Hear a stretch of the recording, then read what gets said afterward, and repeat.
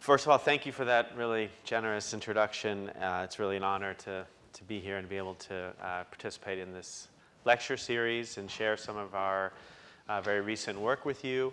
Um, what I thought I would do today is uh, just at the beginning part, uh, talk briefly about some of our recently published work and then spend the majority of my talk um, on a, a, brand new story from the lab that hasn't been published yet. Um, which, which has some relevance to some of the work going on here by some of the people that I've had an opportunity to meet with today. So, um,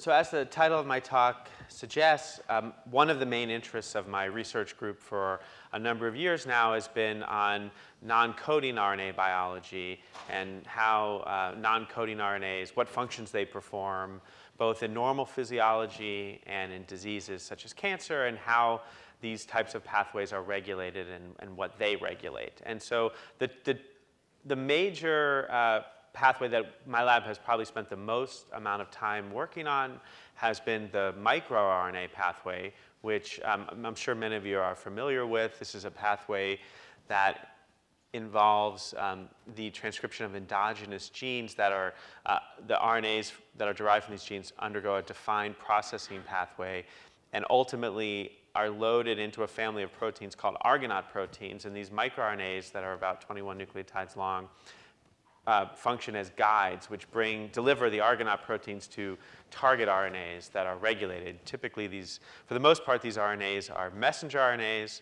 And what happens when the Argonauts are delivered to them is they, the messenger RNAs are rapidly or more rapidly deadenylated, um, leading to decay and reduced translation. And this is um, the microRNA pathway we think of as a very sort of well-defined pathway, and for the most part, to, to the best of our ability, virtually all microRNAs function in this way.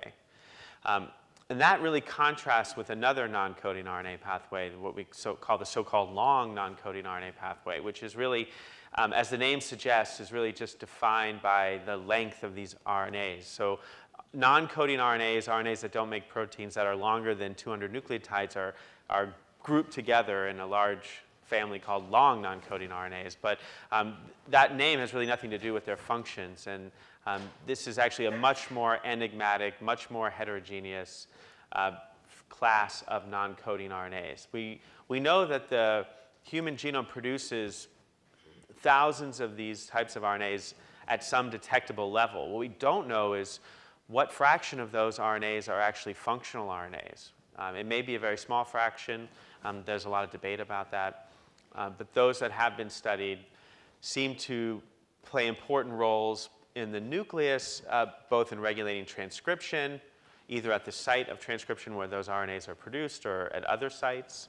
Um, there are other non-coding RNAs that um, either in the nucleus or cytoplasm seem to interact with either proteins or other RNAs in the cell and regulate their activity. And there doesn't seem to be any sort of specific common theme to which these act. This is a much more diverse family of RNAs. And what, um, and we, my lab is really just beginning to delve into these types of transcripts, but we've been working to try to identify RNAs that we can clearly say are functional, um, have a site, have a function that's separate from their production at their local site of transcription. And it's very hard to really definitively find these, but they do exist, and I'll tell you about one example in a few moments.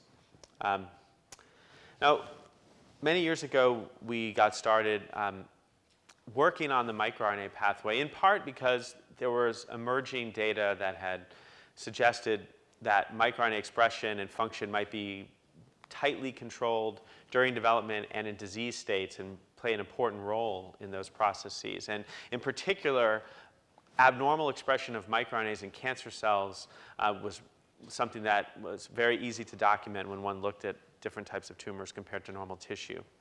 And over the course of uh, many years, our lab and other labs established that specific microRNAs can function in a functional way to, to drive tumorigenesis and act either as oncogenes or tumor suppressors.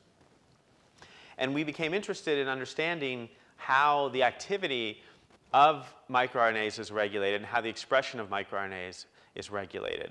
And I will get back to this question um, in a few moments when I get into this news story that I'm going to tell you about because th there's actually, this is a very rich area of research and there's actually a lot of depth to this question. We know that the microRNA genes themselves are transcriptionally regulated, just like protein coding genes are transcriptionally regulated, the same machinery. But there's actually a lot of regulation of microRNA biogenesis, either globally or on a microRNA specific level.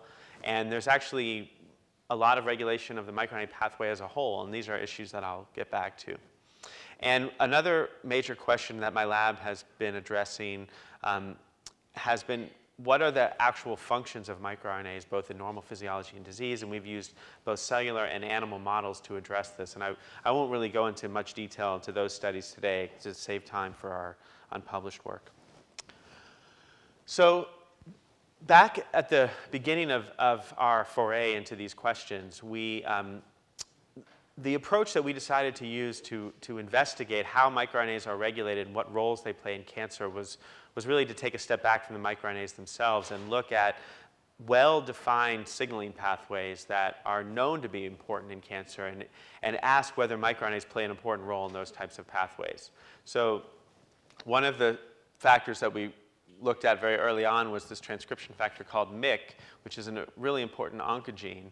And what we found is that when MYC becomes hyperactive in cancer cells, it really dramatically reprograms microRNA expression, both activating oncogenic microRNA cluster or microRNA genes, including this what I would say right now we can definitively say functions as an oncogene, this microRNA gene called miR-1792, which produces six microRNAs.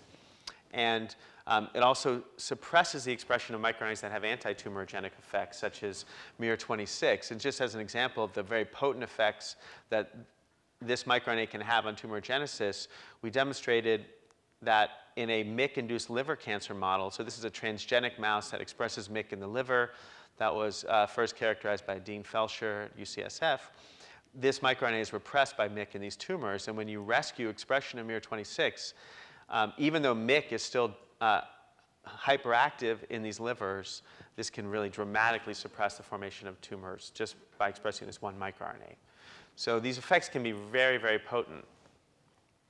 And we found that these effects were not limited to tumor genesis driven by MYC. We found microRNAs that are also important in other tumor signaling, relevant signaling pathways such as the KRAS pathway and the P53 pathway.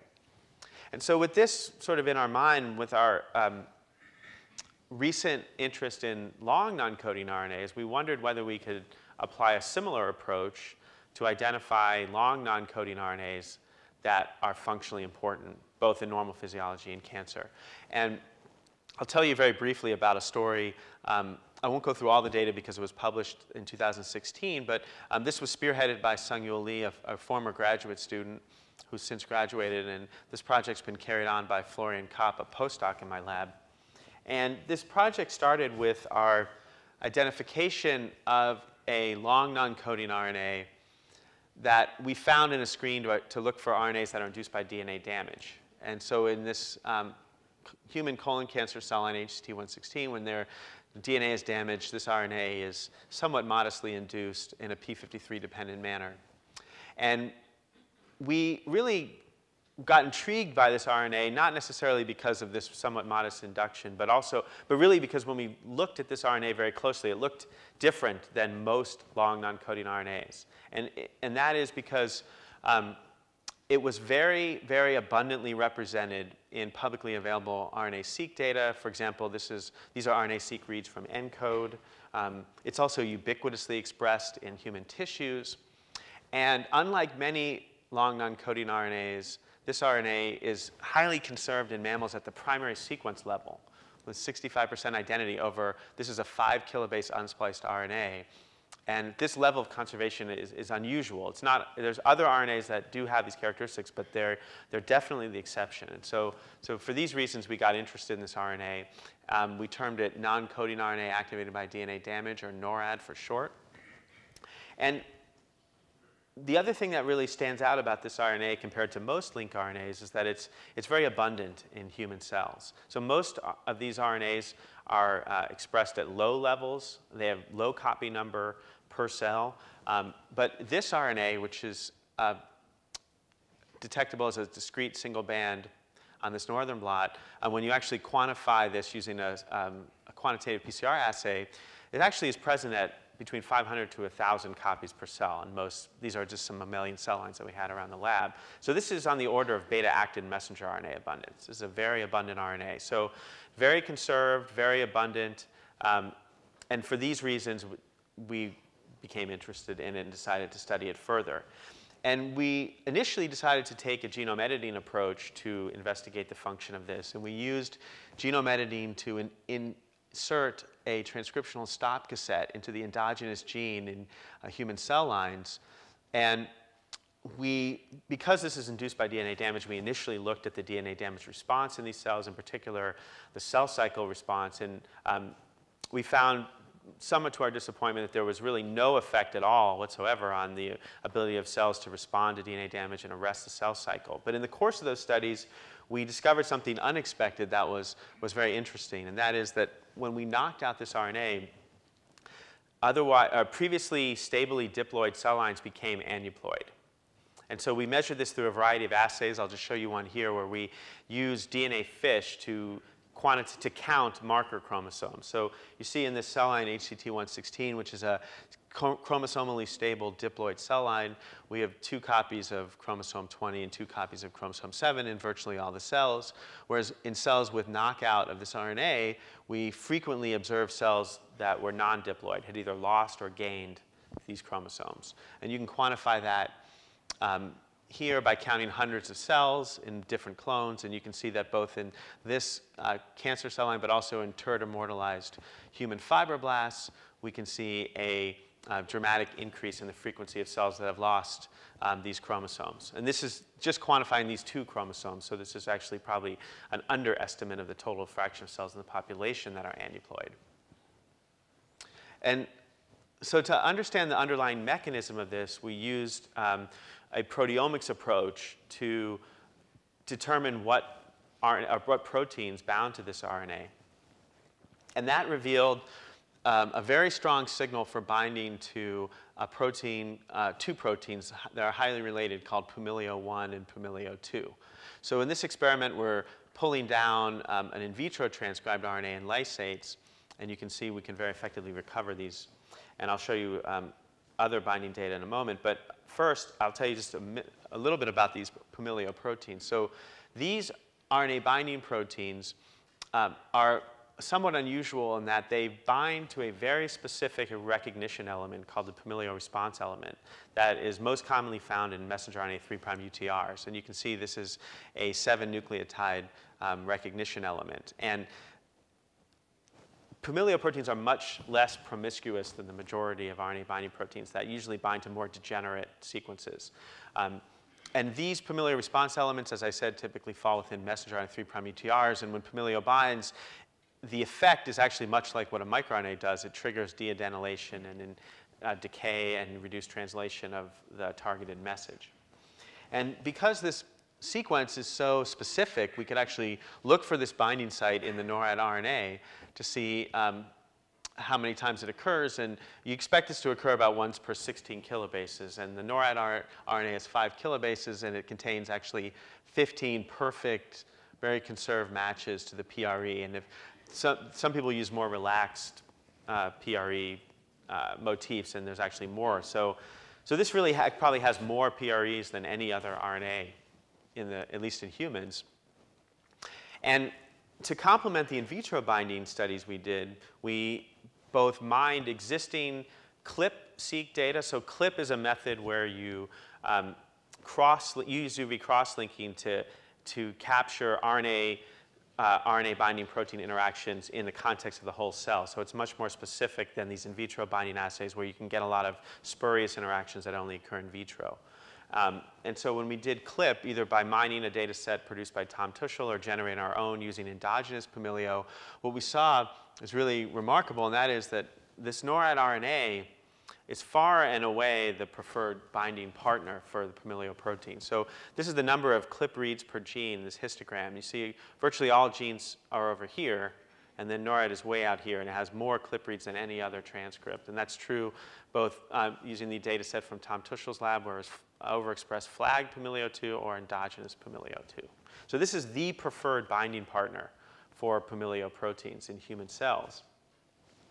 And so based on these data, we proposed a model whereby um, because NORAD is very abundant in cells and present at roughly 1,000 copies per cell and has 15 binding sites per transcript, it can sequester up to 15,000 Pamilio protein molecules in the cell. And in the absence of NORAD, when you delete this RNA, that pool of Pamilio is released, and, and that's what we believed potentially caused the genomic instability. And so this model has a lot of many predictions that we systematically tested, and I don't want to go through all the data. It is in this paper and it's published. And I, like I said, I want to get to our new or unpublished data, but I can just I'll describe what we did to really what I think um, to really provide strong evidence in support of this model. And so first of all, we very carefully examined the stoichiometry between this RNA and this Pamilio proteins in the cell. And we found, really surprisingly, at least in the cell lines that we looked at, there's exactly, roughly, very, very close to 15,000 Pamilio protein molecules per cell, which is almost exactly the number of binding sites provided by this RNA. So there's a very good one-to-one -one stoichiometry between the RNA and the Pamilio protein itself. And we also could document using RNA-seq that the targets of Pamilio, defined both by CLIP and by the presence of the Pamilio response element, are hyperactively repressed when you knock out this RNA. And we can phenocopy the chromosomal instability phenotype by overexpressing Pamilio, and we can rescue the NORAD knockout phenotype by reducing Pamilio dosage or knocking it out. So we really think the evidence is very strong that NORAD is a very strong negative regulator of these Pamilio proteins. And for some reason, hyperactivity of Pamilio is what drives this chromosomal instability phenotype. So the last part of this story um, was really trying to address what constitutes this, this mechanism. Why does hyperactivity of Pamilio result in genomic instability? And so to address that, we examined the targets of Pumilio that we defined using CLIP. Um, so these are the RNAs that our Pumilio is bound to. And we looked, we overlapped that with the RNAs that are repressed when we knock out NORAD. Okay, so there's about 200 of those RNAs. And what's um, remarkable is that those RNAs are very, very highly enriched for regulators of the cell cycle and mitosis and DNA repair. And many of the individual genes uh, shown, some of those shown here have previously been implicated in uh, maintaining genomic stability. And so some of these are major players in mitosis, such as these centromere components, cohesins, for example. And each of these factors has actually previously been shown to be sufficient to trigger aneuploidy when knocked out or knocked down. So we think that there's an entire program of genes that are repressed by Pumilio in the absence of NORA that ultimately lead to this phenotype. So to summarize this, we've shown that um, NORAD is this very strong negative regulator of Pamilio proteins, and these proteins, when hyperactive, repress a family, uh, a whole regulon of transcripts that are involved in DNA repair, replication, and mitosis, and it's the repression of this program that ultimately results in chromosomal instability. So, so that's I think, a very good example of an RNA that, I, I, didn't tell you this, but NORAD is entirely cytoplasmic. So this, NORAD really represents an RNA that falls into this category of molecular decoys.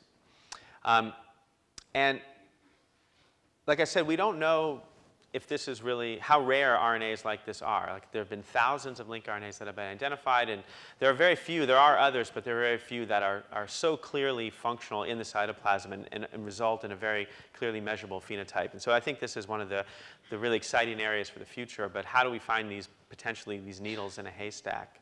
Um, and this is going to be something exciting, I think, to keep an eye on. So now I'm going to switch gears and tell you about the microRNA pathway and um, a news story from the lab related ultimately to uh, this question that we've been interested in for a very long time, and that is how is microRNA activity regulated?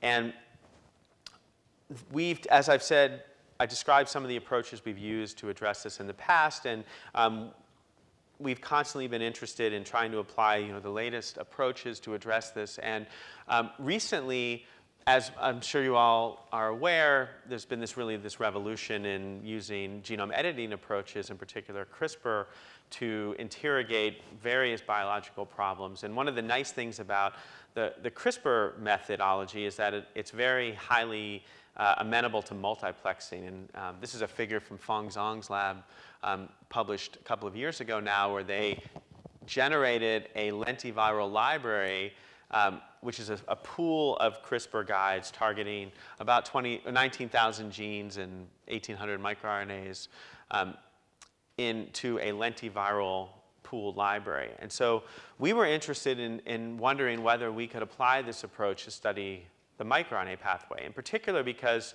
previous attempts to do genome-wide screens to study the microRNA pathway really relied on the RNA, RNA interference screens. And there's a fundamental problem, although some of those screens have been effective and have identified important factors, there's a fundamental problem in using RNA interference to study the microRNA pathway, at least in human cells. And that is that the microRNA pathway is the RNAi pathway in human cells. So there's a bit of circular logic there. So if you knock out a central component of the microRNA pathway, the siRNAs themselves may stop working. So it's difficult to do a fully complete screen using RNAi, in mammalian cells at least, to study the microRNA pathway. So we were excited by this alternative approach.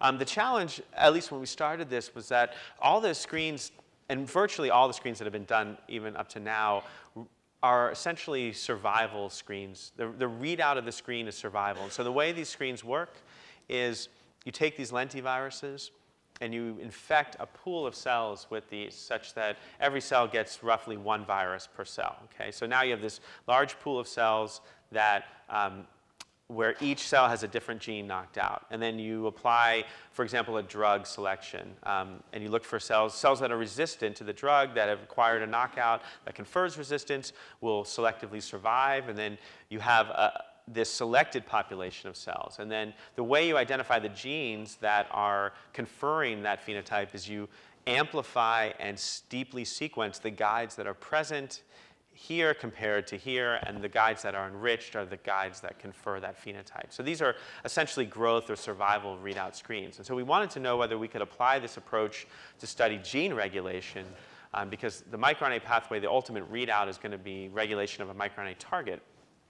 And so this challenge was taken on by Ryan Golden, an MSTP student in my lab who recently graduated, and uh, with strong assist from Beibei Chen, who's a computational biologist that works with my group. And the approach that we came up with was to, um, in, to use, instead of survival, it's not really a very complicated approach, it's quite simple concept. Instead of using a survival as a readout, we decided to use a re, uh, fluorescent reporter as a readout. Um, and so here we generated cell lines that simply have GFP hooked up to, uh, in this case, a 3' UTR that has uh, eight binding sites for an abundant microRNA, miR19. I can tell you in a minute why we chose this microRNA in a little bit more detail.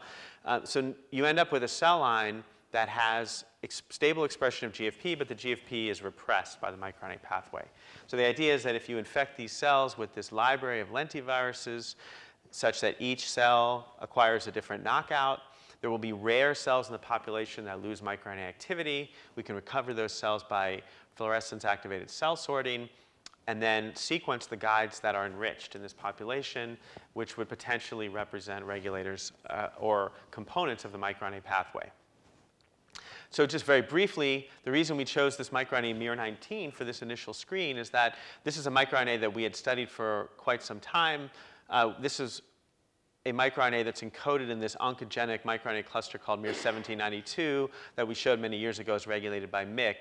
And this is data from uh, Greg Hannon's lab where they demonstrated one, it's one of the lines of evidence really showing that this microRNA gene is an oncogene. They expressed it in hematopoietic stem cells in um, these MYC transgenic mice, and it dramatically accelerates tumor genesis. And there's a lot of wealth of other data demonstrating that these are really uh, oncogenic. And so we thought that um, either regulators of miR19 itself or global regulators of the microRNA pathway, should they emerge from the screen of this type, would both be interesting. And so that's why we decided to use that. Um, Now, the other thing that's really important for uh, successfully conducting a screen of this type is um, having a reporter that is a very sensitive readout for the pathway. And it's, it has been challenging in the past to make microRNA reporters that are, have a big dynamic range because microRNA effects on individual targets can be subtle.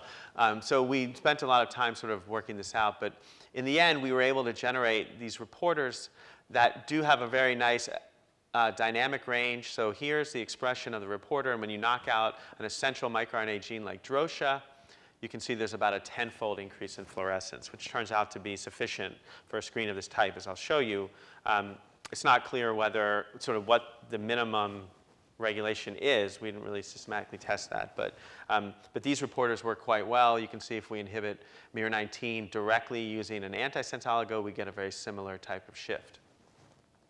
And so with these cell lines in hand, we went ahead and uh, conducted the screen. And, and so the primary readout of these, these types of screens is what's shown here. So here we have um, about 120,000 dots, which each represent an individual guide in the library. And we have their abundance sorted, um, in, in the sorted populations relative to the unsorted populations. So guides that are enriched are going to be guides that are up here, and these re represent potential hits. And so we could see right away that the, this strategy, at least in principle, seemed to be working because there are many individual guides that are highlighted here that targeted known components of the pathway. So we were excited about this, but the, the power of these types of screens, it really comes from the fact that these libraries have, in this case, six guides targeting each gene. So real, the way you distinguish that the high probability real hits from noise in a screen like this is to really look for genes where multiple guides targeting it are enriched. And there are multiple statistical algorithms that you can use to actually assign a p-value to each gene that's targeted by the library. And um, in this case, we used an algorithm that's developed at the Broad Institute actually for RNAi screens called RIGER. And so this basically accounts for all the guides that are targeting that gene and looks at their distribution in the population of guides and then assigns uh, a p-value. And so these are negative p-values. So everything up here represent genes that represent statistically significant hits. And so what was really, again, very nice about this screen is that if, if we looked at what we expected to recover, so these are um, known components of the microRNA pathway, we recovered with a very high level of significance a large majority of the known essential components of the pathway, including the primary microRNA transcript itself, miR-19, um, the components of the primary processing machinery, DGCR8 and DROSHA, exportin 5, dicer, Argonaute, um, and then factors involved in the ultimate repression of the target. So that was very encouraging, and that the screen was actually fairly sensitive. So there were not a lot of things that, that we missed. Um, and so, of course, you notice that there are other dots up there that aren't labeled, and that's, of course, what, what's most interesting. So we decided, really, there were two classes of these hits that we decided to study initially, and there are actually others here that we really haven't even delved into at all. So there's a lot more to this that we haven't really had a chance to even get into. But the, at the very, very top of our list, we noticed um, two classes of hits. So the first um, were transcription factors that um, I'm not going to go through the data, but really what we think is that these factors regulate transcription of the microRNA gene itself.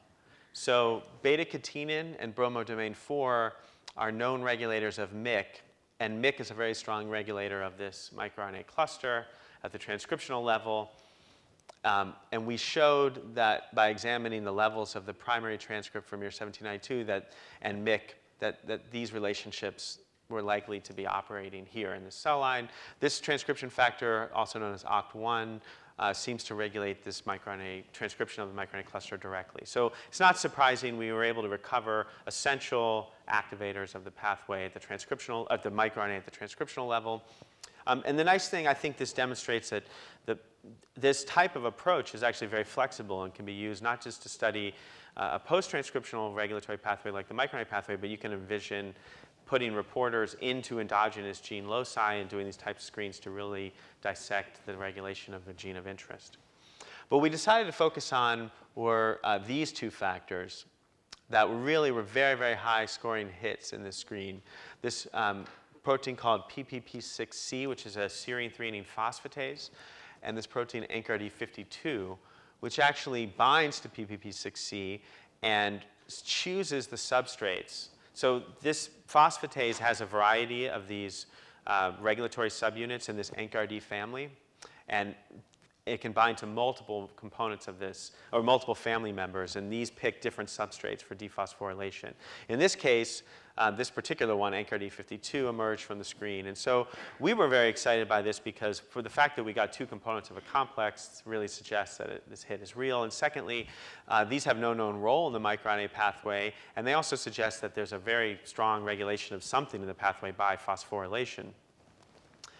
So we could validate these hits by knocking them out individually, and we see that our reporters shift as expected. Um, but these shifts are not accompanied by changes in the level of the microRNA. Um, so here's miR-19 levels when we um, knock out ANKRD52, for example. There's very little change in levels of the microRNA. Um, we're looking at other microRNAs. Some go up a bit. Most don't change. There doesn't seem to be any global effect on microRNA biogenesis in the absence of this phosphatase complex, as far as we can tell. On the other hand, the impairment of the microRNA pathway that occurs when we knock these out seems to be general. It's not specific to miR-19. So here are other reporters like miR-21, regulated by miR-21 or miR-200, and we see a similar type of de-repression of these reporters.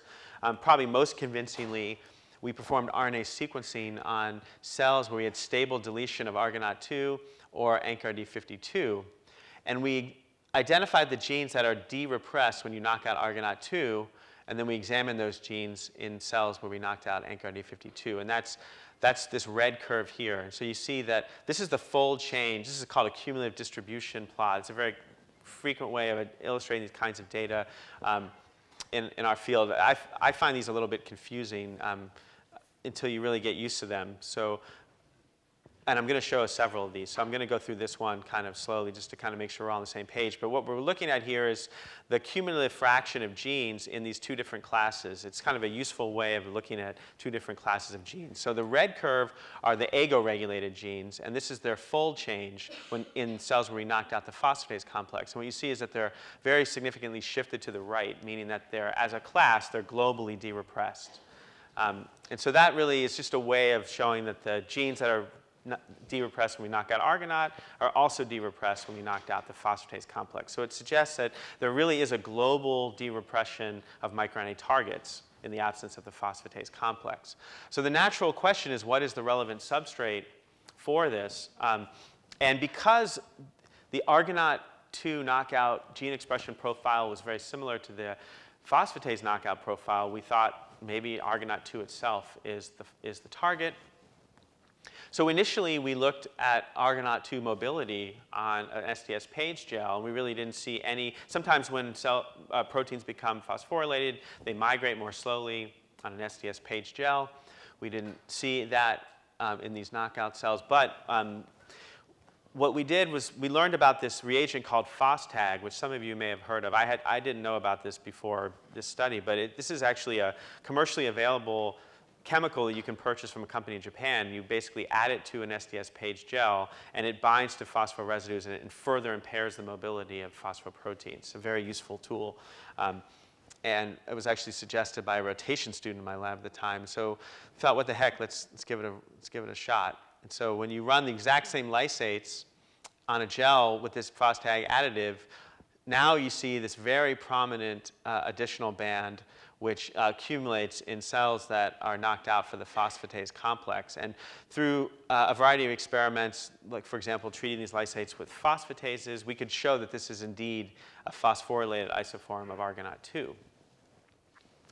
So then we use mass spec uh, in collaboration with James Chen uh, a member of my department at UT Southwestern who's a very talented uh, mass spectrometrist. Um, and he was able to show that in cells that are deficient for the phosphatase activity, there was specific accumulation of phosphorylations um, and a series of serines in, at the very C terminus of argonaute protein.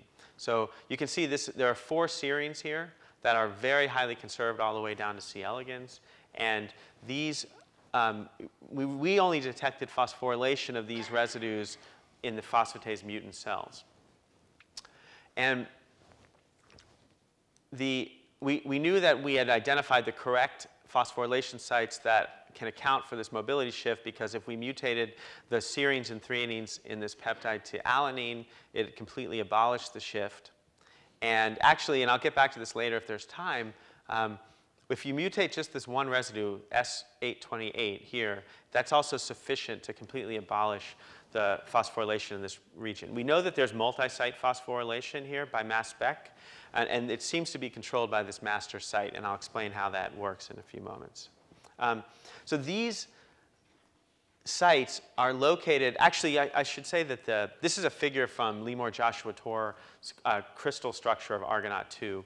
And um, Ian MacRae and Leemor Joshua have both crystallized human Argonaute 2, and, and Ian MacRae has published uh, a paper describing the crystal structure of Argonaute in complex with a microRNA and a target.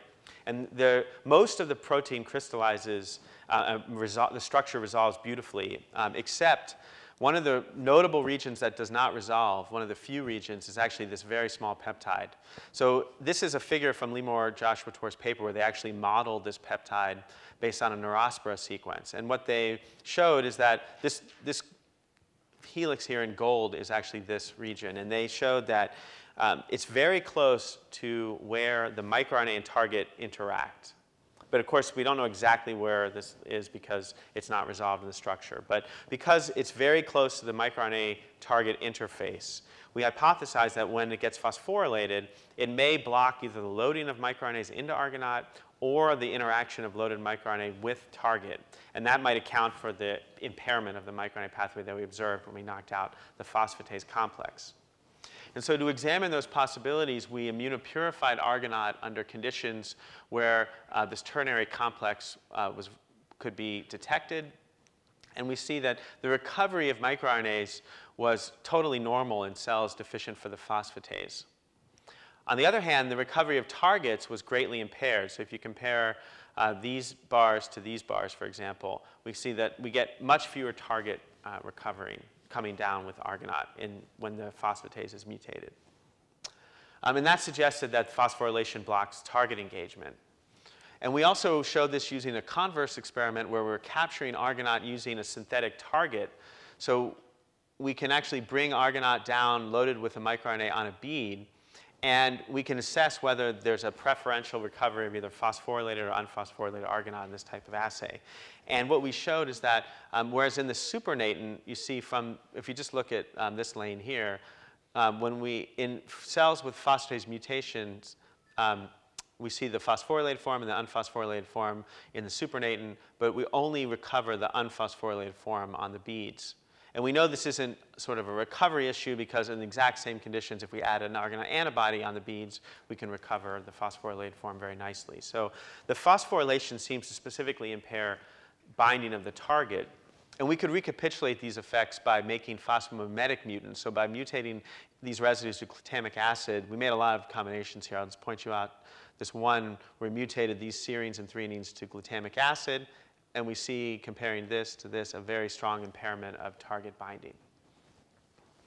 And so finally, um, these phosphatases have a lot of substrates. So even though argonaute is, is hyperphosphorylated when we knock them out, and it's very plausible, we have a biochemical explanation for the defect in the microRNA pathway to really show that this can explain the entire defect.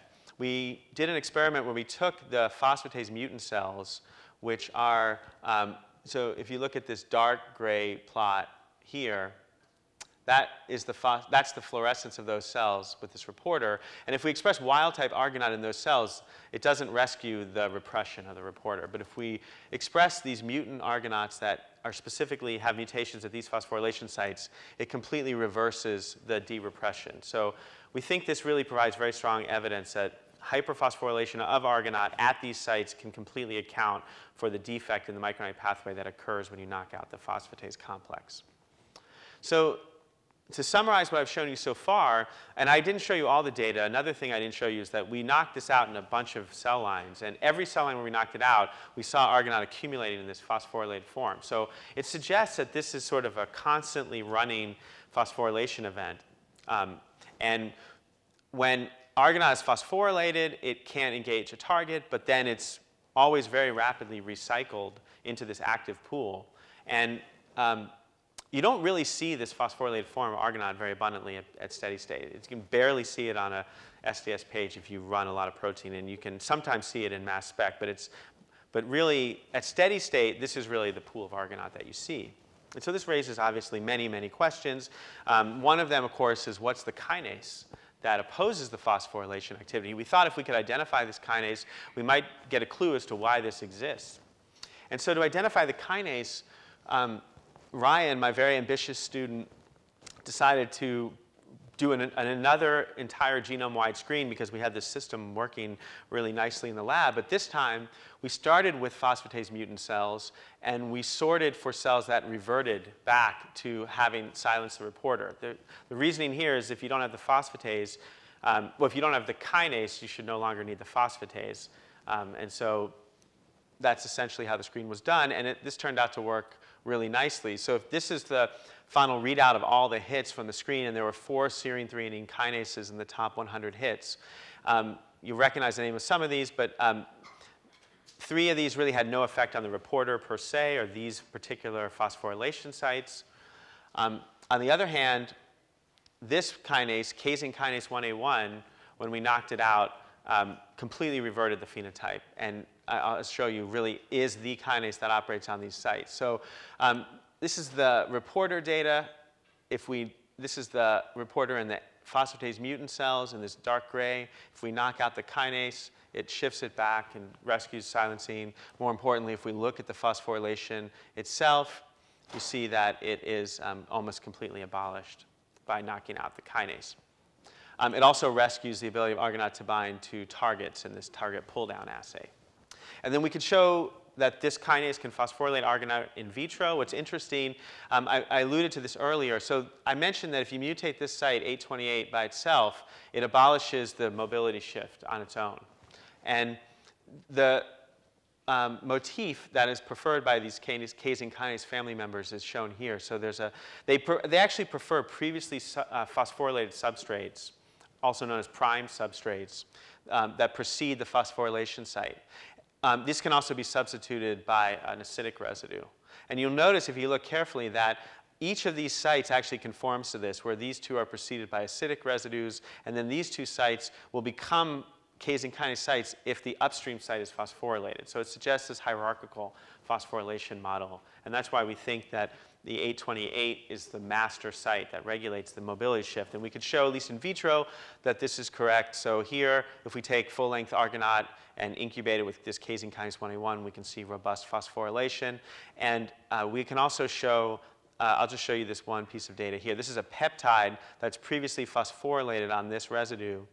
And you can see that this is the magnitude of in vitro phosphorylation of that peptide compared to unphosphorylated. So you see it really dramatically stimulates the further phosphorylation of that peptide. Okay, so, so now we had established that casein kinase 1A1 is the, is the kinase that triggers this phosphorylation. Um, and then the phosphatase complex, ANKRD52 and PPP6C dephosphorylate this. And so why, why is Argonaute constantly cycling through this? And um, I'm going to skip this slide and, and, tell you about one other piece of data that we came across. So I showed you this earlier, that when we knock out the phosphatase, we see this global de-repression of targets, and we can explain that simply because argonaute is trapped in this uh, inactive form. I also showed you, we found the kinase by doing this experiment where we actually looked for suppressors that rescue silencing in the absence of the phosphatase, so this pushes Argonaute back to this side. But what I didn't show you that was surprising to us is that when we, we did RNA-seq on these cells as well, um, and even though the reporter is rescued when we knock out the kinase, um, globally, endogenous targets are not rescued. So this curve and this curve look very similar. They're looking at the same targets, either in the absence of the phosphatase or in the absence of both the kinase and the phosphatase. So endogenous targets seem to need this phosphorylation cycle for efficient silencing. So that was sort of counterintuitive because this phosphorylation event impairs argonaute. Okay, so that was what we were sort of grappling with. So the first thing we want to do is make sure this is really a real result because the kinase, this has a lot of different substrates in the cell. And so we did this experiment in a more clean way where we took our AGO knockout cells and reconstituted them with wild type argonaute or mutant argonaute that has just mutations at these phosphorylation sites. We express this very carefully exactly at endogenous levels so we can make all the right comparisons. And these are just looking at the targets that are de-repressed when you knock out argonaute. And if you express wild type argonaute, these shift to the left. So that's what you expect. We've rescued those targets. If you express this mutant, we see that some targets actually are rescued, um, like the reporter, but most show an impairment of silencing. Okay, so it's not that the pathway is completely dead, but it's like the efficiency of the pathway is impaired. And so why, why might that be? And so, um, so Fang mentioned in his introduction that I used to work on um, the NMD pathway and the nonsense-mediated decay pathway. And when I was a graduate student, one of the things that Phil Anderson discovered that I thought was really intriguing is that our, uh, UPF1, which is the, one of the core factors in the NMD pathway, is actually undergoes a constant, continual um, cycle of phosphorylation. And they actually discovered this by doing a genetic screen where they pulled the phosphatase complex out of, it was one of their hits. And, and UPF1 accumulated in a hyperphosphorylate state. And this really reminded me of um, what we were seeing here. And in, in the NMD pathway, what triggers phosphorylation is actually assembly of UPF1 on a target transcript. And so we wondered whether that is actually what happens here. When AGO engages a target, whether it now becomes a substrate for phosphorylation.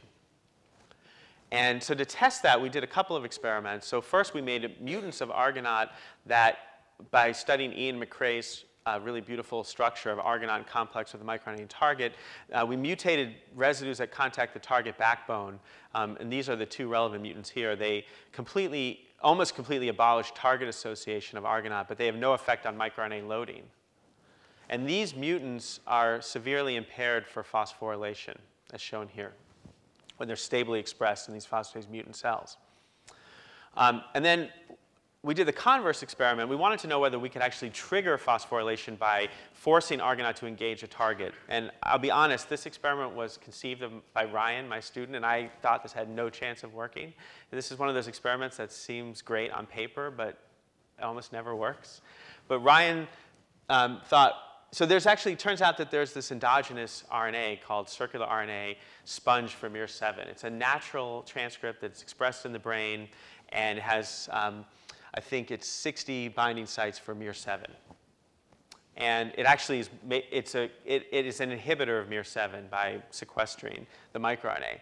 And this microRNA is not normally expressed in this HCT116 cell line that we've been using for these studies. And so we thought if we transfect a lot of miR7 in, we could load up a lot of Argonaute with it and then give it this target and see if that's sufficient to trigger phosphorylation. And really amazingly, it actually did it. Um, so here is, so first the controls are just the, this transcript alone, either in a circular or linear form, without miR7 or with an, um, an irrelevant microRNA. When you provide it with miR7, we can see a very nice triggering of the phosphorylation, and this is entirely dependent on casein kinase. Okay, so, um, so finally, so we, could, we concluded that at least one strong trigger for this phosphorylation cycle is actually engagement of a target. And that triggers phosphorylation, which um, would then disfavor uh, target binding. So that would actually trigger disengagement. But then very rapidly, this is re-engaged into the active pool by the phosphatase complex. So the last part of this, um, before I finish, th this still really doesn't explain why this cycle is needed for the, for the microRNA pathway.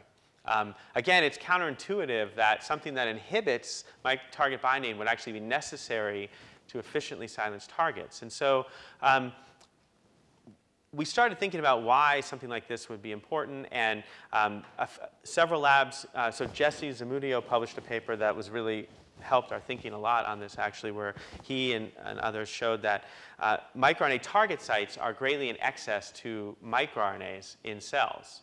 So there's more target sites than there are microRNAs. And so it raises, there's, there are a lot of questions now in the field about how micro, microRNAs can navigate that extensive target landscape. The first thing we thought of is maybe this is quality control. So in the absence of this, maybe this is triggered when Argonaute binds to uh, an aberrant type of target, like non-coding RNAs that wouldn't necessarily need to be regulated by microRNAs. So maybe this keeps microRNAs on, micro, on messenger RNA targets. And so to address that, we did a clip experiment where we, um, we did clip with wild-type Argonaute or Argonaute that can't be phosphorylated. And so we found that this really didn't look like quality control because uh, it was still bound almost exclusively to 3' UTRs for both cases. So it's not like this cycle was cleaning up Argonaute binding to non-messenger RNAs. It's still binding to messenger RNAs in both uh, settings. But what, what was dramatically different between the wild type and mutant were the number of binding sites detected at steady state. So you can see that there's more than double the number of binding sites detected in, um, by this mutant Argonaute. And uh, that corresponds to uh, almost doubling the number of genes that are bound. So virtually all the genes that are bound by wild type are also bound by this mutant, but now it's bound to many, many more. And so these two proteins are expressed at exactly the same levels in these cells. And so um, now you have the same amount of protein diluted over many, many more targets. And so its activity per target is greatly diminished. Um, now, these, these expanded sites, the extra sites that we see that are bound by this mutant argonaute are, we think, are real microRNA binding sites because they're just as likely to have seed matches, okay, binding sites for microRNAs. Um, but we think they're probably just detected in this clip experiment better because argonaute stays on them longer, okay? Um, and we can see that we can see this dilution effect if we look at microRNA binding sites. So here, um, what we're looking at are, uh, is basically the binding strength as measured by CLIP for this mutant argonaute over, over endogenous microRNA targets. And you see these curves are shifted to the left, and that means that the, the, the CLIP, the, the binding signal is decreased. And so it almost had to be this way because we have twice as many binding sites with the same amount of argonaute. Um, and so the last, the last thing is, um, we think this explains this phenomenon that I described here. So, so why is the silencing of some targets rescued by this mutant but not others. Okay, I showed you that the reporter doesn't need this phosphorylation cycle, and also some targets are rescued in the absence of this reporter, of this phosphorylation cycle. And what we think is that targets that are really, really strong targets uh, are able to compete very effectively against this expanded target pool. And so they're not really as sensitive to these dilutional effects. And we can see some evidence for that by looking back at the CLIP data. If we look at the genes that are rescued when we express Argonaute, these are the ones that would be over here in this red curve, um, they actually have better, stronger binding. You see, this is a measure of binding, and they're shifted to the right relative to genes that are not rescued. So the strong targets are able to be rescued. They're not sensitive to this cycle, but the majority of targets are, they need this phosphorylation cycle to maintain the efficiency of the pathway. So just to summarize this, um, what we found is that when Argonaute engages a target, it triggers the phosphorylation by uh, casein kinase 1A1, and which has the effect of diminishing target binding uh, but then this pool of uh, inactive is rapidly recycled by this phosphatase complex. And so one way of thinking about this is that um, this really increases the efficiency of Argonaute sampling in this very large target landscape. And so maybe when Argonaute binds to a target, it stays on there longer than it needs to, for example, to trigger a, a silencing interaction. Um, but the phosphorylation cycle is there to make sure that doesn't happen. But in the absence of that, Argonaute's stuck or it stays too long on targets that have already maybe been silenced. And so now you lose that, that capacity, that excess argonaute to find new targets and silence them. And so the whole pathway becomes inefficient and slow.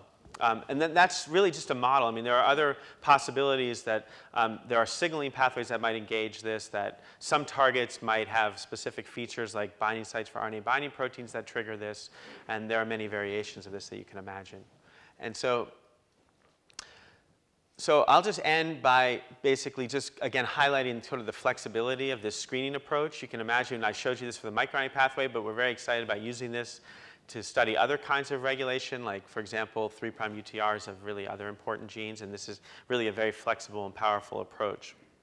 And so let me just again uh, acknowledge, I've mentioned all the people that did the work as I went through. Um, Sung-Yul Lee and um, Florian really did most of the NORAD work, and then um, Ryan Golden and um, Bebe, where's her name, here, did most of the um, AGO work that I just showed you, and then with a lot of help from other members of my lab.